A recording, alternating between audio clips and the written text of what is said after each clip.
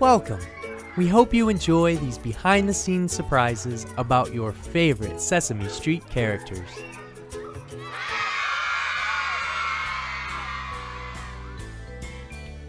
I find kids and adults are amazed by the process behind Sesame Street. There's no other street like it. The craft might be more magical than the show. This show is the ultimate Muppeteering challenge. It took me years to get used to Grover and Elmo. I don't think I'll ever be comfortable with Oscar the Grouch.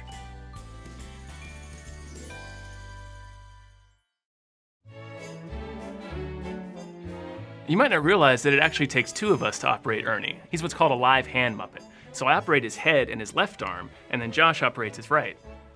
When I'm in the Big Bird suit, I use my, my left arm to operate his left arm.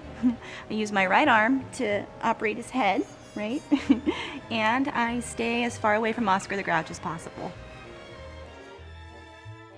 Sometimes, when the cameras aren't rolling, Oscar steps out of his trash can. It is a real treat. If you didn't work here, you wouldn't even know he has a human lower half. What most people don't know is that the character known as Cookie Monster actually started as a cheese eating snack creature in a Canadian commercial. Right, or that in real life, Oscar has no concept of personal space. The puppets are made of reticulated polyfoam. You know, it's this wonderful, durable, flexible material. And unlike whatever Oscar's made of, it's not radioactive. Who is this guy anyway?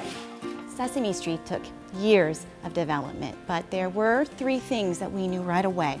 We wanted to promote literacy through television. We'd make it fun for the whole family with grown-up references. And we'd work around Oscar, who was already living on the soundstage.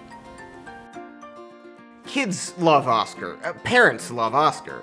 Biologists don't know if that's Oscar's penis or if it's, you know, a- another organism altogether. Here's a design choice most people miss. The younger the Muppet, the bigger we make their pupils.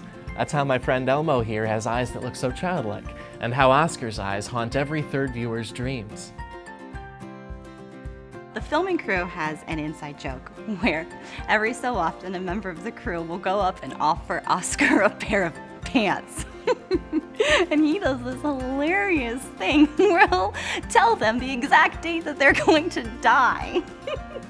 He's never been wrong. Most people don't realize that the Count's full name is actually Count Von Count. Or that Oscar the Grouch is what standards and practices make us call him instead of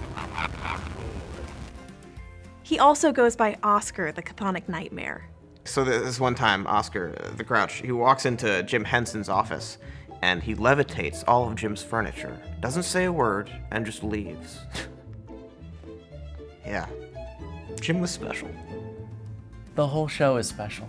It's timeless. It's an American icon. Most of these Muppets wind up in the Smithsonian, for cheese sakes. And now that Sesame Street's on PBS and HBO, I know we'll be changing lives for a long time. Did HBO ask for any changes to the show? What, you mean like make it Game of Thronesy? Dirty or something? Of course not. It's Sesame Street. Oh, hey Oscar. We were just shooting. Uh, Oscar is one of the best characters in the show. He's a fan favorite. He is more. Where, where'd you grow up? A barn?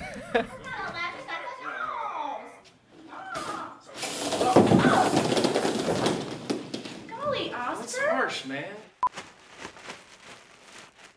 don't make eye contact with him. Where did you grow up?